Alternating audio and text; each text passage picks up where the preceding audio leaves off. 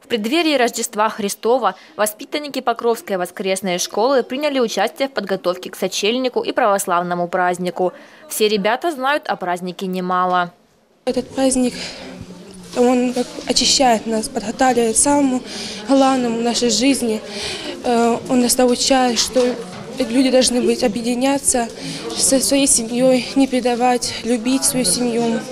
Благодаря преподавателю школы Ирины Азалиевой, которая рассказала о важности сочельника, о связанных с ним символах, об украинских традициях и блюдах, которые испокон веков готовили на этот праздник, дети узнали еще больше. Мы узнали, как готовить кутю, а, как носить, какие обычаи были раньше и как это делать э, на сегодняшний день.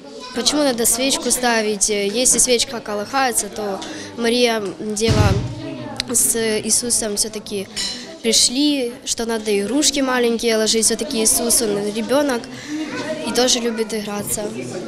По словам Дианы, она теперь знает, что рассказать своим родителям. Когда приду домой, буду маме с папой рассказывать, э, что я сегодня узнала и как все-таки надо праздновать. О рождественских традициях и не менее важной духовной подготовке к торжеству рассказал ребятам благочинный Никольского округа настоятель Свято-Покровского храма Иерей Николай Крымский. Он отметил, что такие праздники нас объединяют.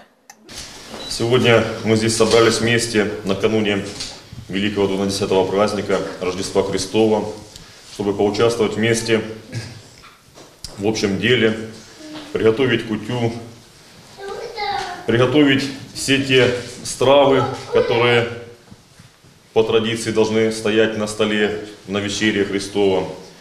В подготовке к празднику принял участие и председатель приходского совета Свято-Покровского храма Юрий Тернавский. Он поздравил ребят и родителей с великим православным праздником и пожелал, чтобы все встретили его в своем теплом семейном кругу, в атмосфере мира, добра, любви и гармонии.